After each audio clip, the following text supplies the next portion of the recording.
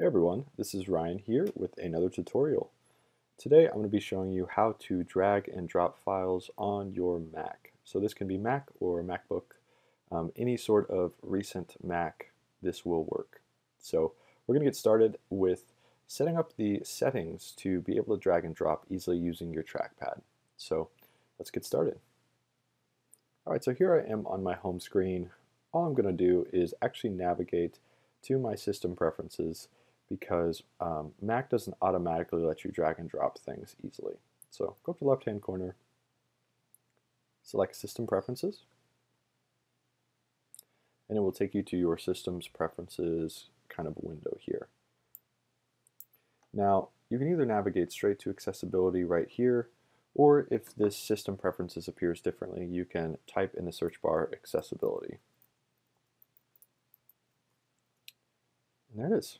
So once you press enter, it will take you to your accessibility, um, which will allow you to kind of change a few things on your Mac. So from here, you're going to scroll down. So select this kind of scrolling bar and scroll all the way down to where it says pointer control. Now once you've selected pointer control, um, make sure that mouse and trackpad are selected. Um, this should be automatic. However, sometimes, you know, if you uh, adjusted some things in the alternate control methods, this will appear.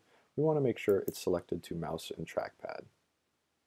Now these are some cool kind of ways to see the double click speed, spring loading, all that stuff, but what we want to go to is our trackpad options. And here where it says enable dragging, you're going to select that checkbox. From there, just select the three finger drag option.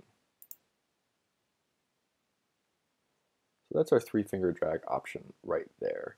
Now, these other options are also sometimes helpful, but my personal favorite is three finger drag, and you'll see why. It's really easy to use your trackpad with this feature. So select OK. And you can exit out of accessibility. And I will show you right now how to now use that feature. So if you're wanting to drag and drop a file, say for example, that's on your desktop, um, to another folder, what you're going to do is open up Finder. So I'm going to just type in Finder.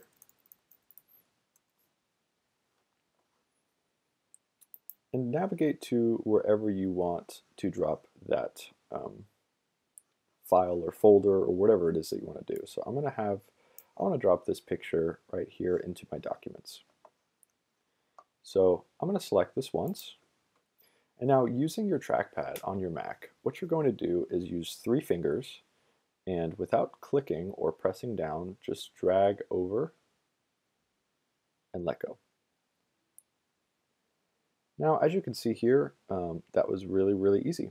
So if you want to do the same thing, once again, as long as it's selected with one click, you should be able to just to drag using three fingers and drop it wherever you want. So that is how you use the drag and drop feature um, and files on Mac. Don't forget to subscribe and thanks for watching.